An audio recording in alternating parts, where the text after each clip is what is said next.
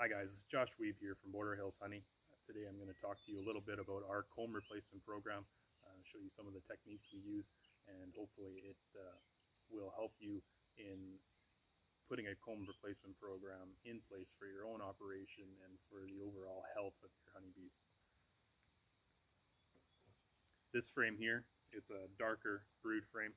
It's been in uh, uh, our operation for quite some time and we actually purchased this frame in um, prior to uh, our own comb program and comb replacement program.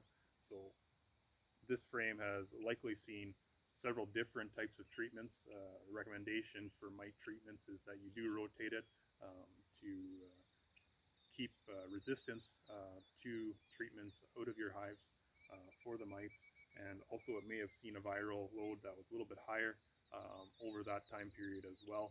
Uh, we just don't know um, because it wasn't in our operation for the entire time, and we have had some um, viruses within our operation as well. Um, the bees have been great at fighting those off. You can increase the immunity of your hive.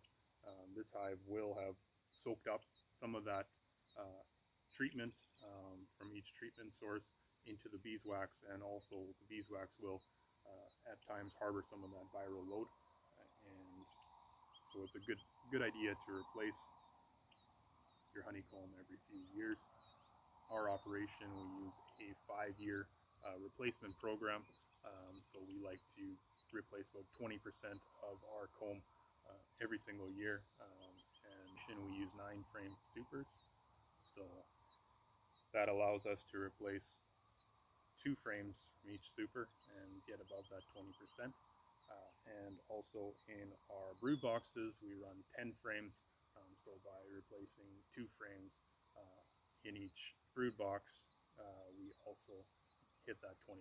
So over the course of five years, uh, the plan is um, that we will see all of our old comb uh, be cycled through and either recycled or um, moved out of our operation in some way or other.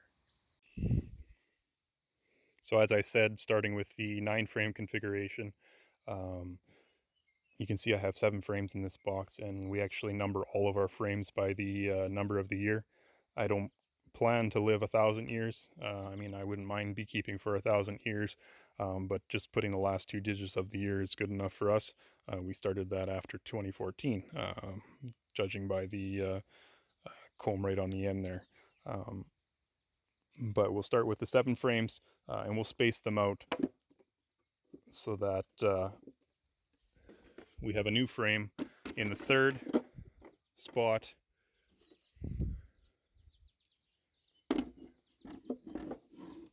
From each end so three and six we'll have a new frame uh, and when we put those honey supers up onto the hive uh, what we'll do is we'll space out the frames and we'll squeeze the new frame in between two frames and we'll put that tight so that the bees build that honeycomb nice and straight on our foundation uh, and then we space the rest out evenly um, so that the bees will build them out nice and fat.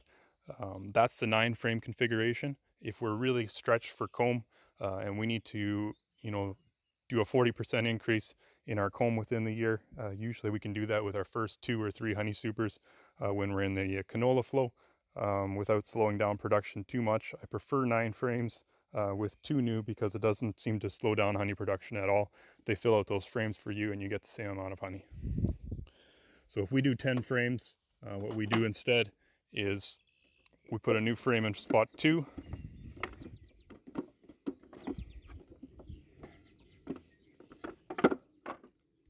And a new frame in spot four.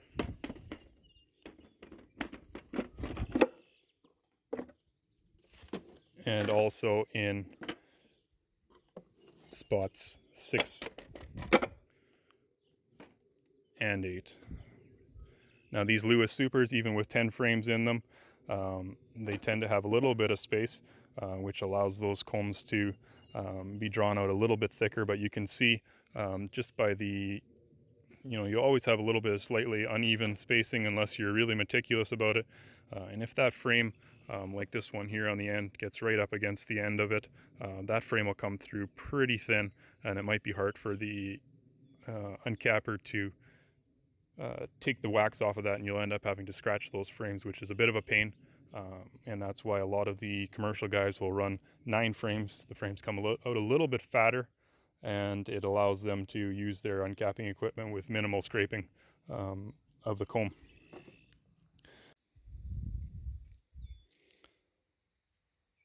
So this is the configuration that I would use in my second brood box. The first brood box, usually I come through the winter and I'll leave that first brood box alone. Uh, and once they're ready to expand into a second brood box, I'll add one that looks like this. Um, so we have uh, a fresh frame, a 2019 frame at spots two and spot eight. And that allows the bees to have six frames in the middle um, so they can move their population up and the queen can start laying in there and once that population is big enough that they need the second and eighth frame, usually they've had enough time to uh, either draw that those two frames out, uh, or it's just time to put some honey supers on them. So I'm not too concerned about it, but it's a way to replace 20% of the brood comb in that second super. Uh, and often before we put the second super on, we'll actually uh, pull two frames from the bottom box and uh, allow that box to also have two fresh foundation frames for them to work on. So that's our comb replacement program here at Border Hills Honey in a nutshell. Uh, I may have missed a few things, uh, a few important factors into you know more reasons why you should increase uh, the amount of fresh comb in your operation. Uh, maybe you have a technique that you use that you think might be beneficial to us. We're always open to new suggestions, um, any new comments or anything like that, any ideas uh, for the future or ideas for future content. Uh, we're brand new at this YouTube thing, and uh, I hope that as we get more, I hope that as we get more comfortable uh, with what feels like talking to yourself, um, that we can continue to bring you uh, more content, and hopefully you might learn a thing or two through our operation, either what to do or what not to do. we appreciate you watching. if you want to see more of us or you're interested in our operation, uh, we're a Canadian sideliner beekeeper operation here in Manitoba, Canada, uh, and we would appreciate it uh, if you would like this video and subscribe. Um, we would love to uh, have you join us on this journey.